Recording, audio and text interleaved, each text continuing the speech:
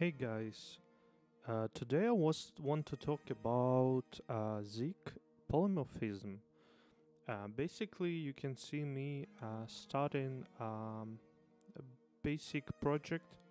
Uh, I was sitting and figure out, okay, what Zig have to um, compete with something like Rust uh, or Go um, in polymorphism type, um, and I mean, Go is not actually competitor because it's using interface and this is a dynamic dispatching, so uh, it's kind of slow for system programming.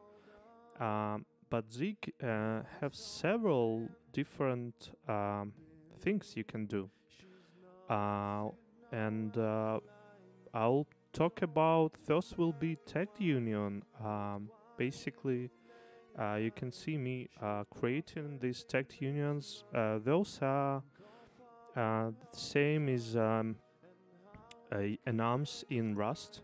Um, so I'll get algebraic data types uh, right.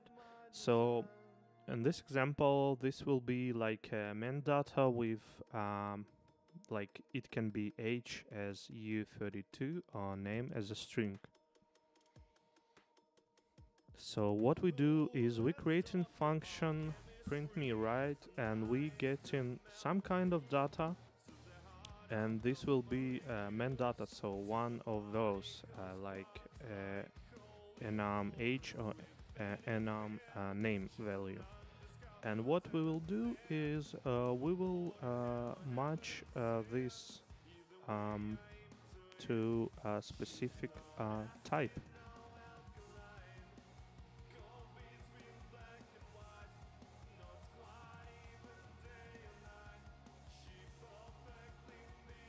So matching uh, to the uh, basically enum type. Uh, we get like main data and we want to match if it's uh, like age uh, or if it's name. And for age, we just print in my age is right and taking this age, it will be U32. For name, uh, this will be string. Um, and we just print in my name is and basically string.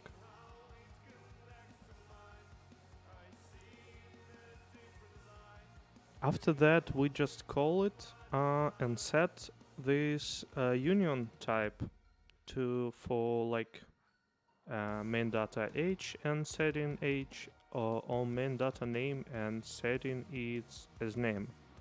Uh, you can see me uh, struggling with setting uh, keyword match uh, like you have in Rust, but in Zig you have switch, and uh, I'll just figure out and uh, change it. Um,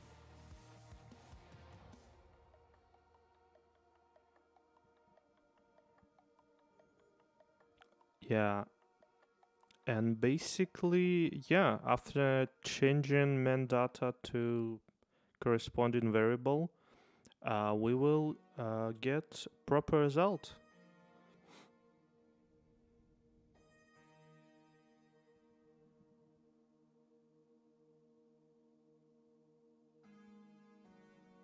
Right. So you can see we print in corresponding data, but this was a tagged union, and in most cases, this is uh, my go-to when you want to do some polymorphism. Uh, but you can use uh, static dispatching and basically anytype. So anytype will be uh, will work the way um, it will take a look uh, what you want from type. Like here, we want the type to have print function, and basically we'll validate it uh, at runtime. Uh, not runtime, compile time. My bad. And the way we're doing is is we're creating uh, structures. Like in this case, we're changing uh, enum to just basic structures with um, functions, like methods, I would say. And uh, yeah, same stuff. Uh, we just uh, have um, properties um, on every structure uh, and we use them in print uh, function.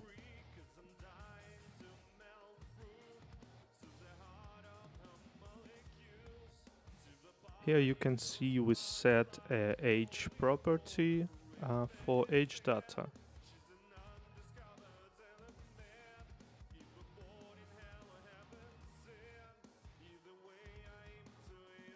And then we just creating a name data, uh, but with um, yeah, I I wanted to change it, but think that like okay, no. And here we just change age to name uh, as uh, const uh, u8 slice, and we'll do the same.